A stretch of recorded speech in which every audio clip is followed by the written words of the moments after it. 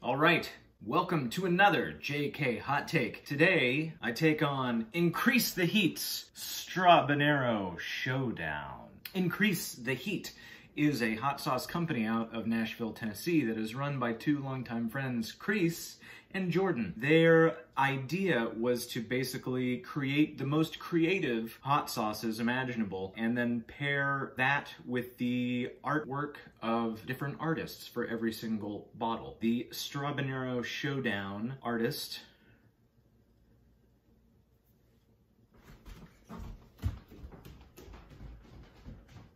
Gage Lozano showcases a uh, strawberry and a habanero with guns. They're outlaws, you see. So yeah, with every single new sauce that they come up with, they're going to have a different artist doing the artwork. That's pretty cool. Always showcase artists when you can. So I found out about this hot sauce apparently right when they sold out of it. And there was one grocery store that had five bottles left. I've never really had a fruity hot sauce. As I previously mentioned in another episode with Nukes, which was banana-based, that, that was the first time I ever thought about bananas in a hot sauce. And Inchrees the Heat actually does have a banana hot sauce. Yeah, let's check out the ingredients. We've got fermented red habaneros, fermented garlic, strawberries, basil, lemon juice, black pepper, salt, sugar, white vinegar, xanthan gum. Recycle or expect a bounty on your head. Environmentally conscious. Good work. An unlikely blend of fresh strawberries and habaneros. Beware, no one leaves the showdown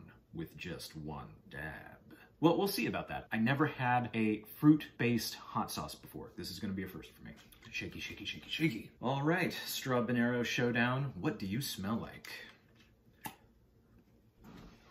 That is intriguing. Strawberries for sure. It makes me wonder, is, is this a dessert hot sauce or is this something entirely different? Yeah, strawberry. I, I never would have paired strawberries with garlic or anything else. They say they don't want to just think outside the box. They want to eliminate the box altogether. Consider the box recycled. Spoon! All right, a little thin. So interesting. This is this is gonna be this is gonna be an adventure. Inchrees the heats. Strawbanero showdown down the hatch. what the hell is going on? Ah, uh, what just happened? Okay, that was okay. It's sweet. Is it? Is it sweet? It's sweet. I don't know what I just put in my mouth. I could taste the strawberries immediately. And then all of my just just taste buds, flavonoids, just went No one leaves with just one dab? Yeah, because I don't know what that was. What is, what are you? Hot strawberries, savory hot strawberries because of the garlic. I'm befuddled. It's an interesting sauce, and it's not bad, but I have no idea what the hell I would put it on. I could see maybe like a bagel with cream cheese, but you wanted a kick to it, but you still wanted the sweetness to it, but you didn't want to bother with jam and jelly because who the fuck puts jam and jelly on a bagel?